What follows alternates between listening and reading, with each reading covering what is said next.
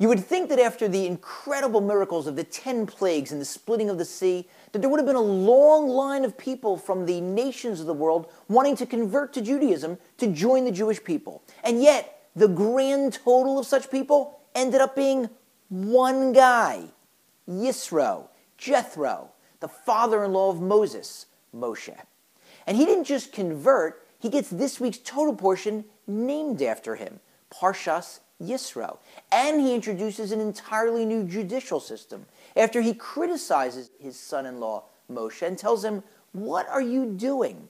Spending your entire day adjudicating cases and teaching people the law, you need to defer, you need to delegate, you need to set up judges below you.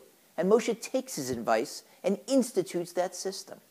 But Yisro doesn't just spring on the scene now in this week's Torah portion. He had previously demonstrated a rare combination of compassion and sensitivity. The Talmud tells us that he was one of the three most trusted advisors of Pharaoh. And Pharaoh was looking for those advisors to be yes men, to rubber stamp his vicious plan to drown the Jewish baby boys in the Nile. Bilam, our mortal enemy, said, Great idea, boss, kill the Jewish babies. Iyov, Job, was silent. Yisro, the third advisor, emphatically disagreed. And as a result, he had to flee Egypt. He had to run away to escape Pharaoh's wrath. He made it to Midian, where he became the high priest of Midian.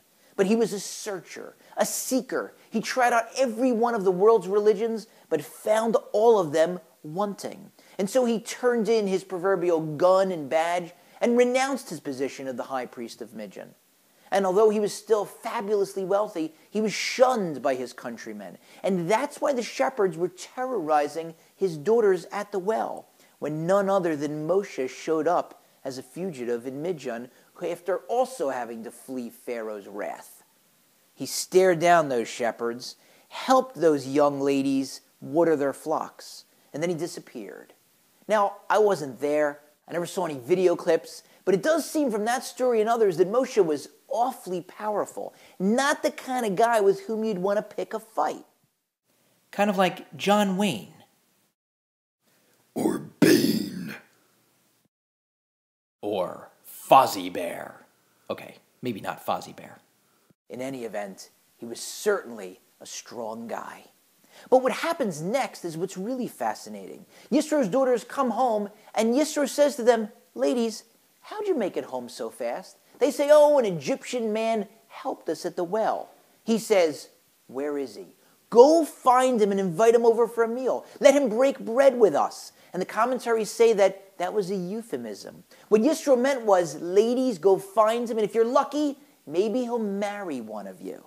Now, I have two daughters, and if they ever ask my advice someday to when looking for a husband to help them find one, I know where I'm not going to look. As wonderful as their hairstyles and beards and physiques are, I'm not going to be searching for a husband for my daughters amongst the offensive linemen of the Philadelphia Eagles. So, what was it that piqued Yisro's interest in Moshe as a potential son in law? Moshe's brawn, his strength alone? No, there was something much more going on. What he was telling his daughters was, ladies, you didn't realize it, but you had a brush with greatness at that well.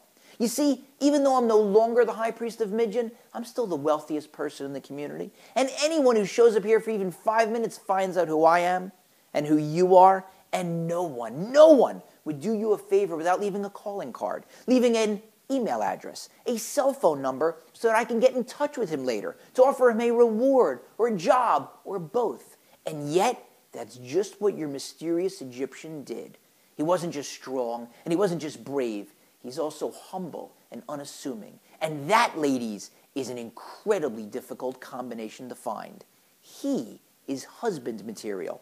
Go find him. And so when Yisro gets word of the miracles that God has done in Egypt, he's ready. He realizes that's the God for whom I've been searching all these years. The one God, the true God. Sign me up. I'm converting. And so maybe we can take some cues while trying to develop our compassion and sensitivity from the convert par excellence, Yisro.